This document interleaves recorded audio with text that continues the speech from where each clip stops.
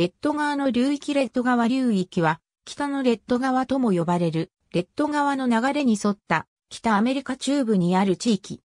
その比較的肥沃な土地と、ファーゴ、グランドフォークス、ウィニペグという人口の多い都市を持つことから、ノースダコタ州、ミネソタ州、マニトバ州の地理において重要な地域である。地質時代においては、古レッド川は、この地域に存在した大きな湖である、アガシー湖に注いでおり、コレッド川によって運搬されたシルトは広範囲に沈殿した。合衆国政府は、1818年のアングロイコールアメリカン会議の後に所有権を確保したノースダコタ北東部とミネソタ北西部の地域を一般的に表すのに、レッド川流域という用語を使用している。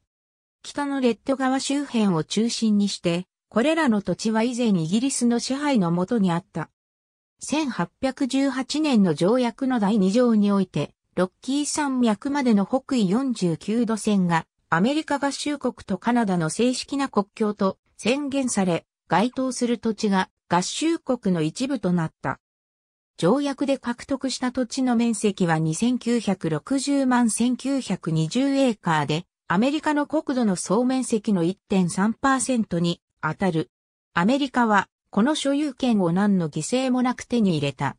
この地域は長年にわたって過疎地である。